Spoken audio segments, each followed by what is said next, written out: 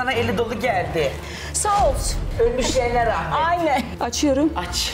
Kaç gündür bana saygısızlık yapıyor yapıyor susuyorum. Boş boş şeylerle uğraşmayın var. Gerçekten boş şeylerle uğraşmayın ama sağ ol teşekkür ederim. Hindistan'ın sokak lezzetlerine hoş geldiniz. Hanımefendi eşinin eski atletini güzel bir şekilde kesmiş. Afiyet değil ay başkonusu. Şunları ayır ben eve giderken yiyeceğim onları. Ben şu saatten sonra senin evinde hiçbir şeyin de tadına bakma. Sen bir kere evine davet ettiğin misafire öyle bir kelime asla kullanamazsın. Kaç yaşında kadınsın?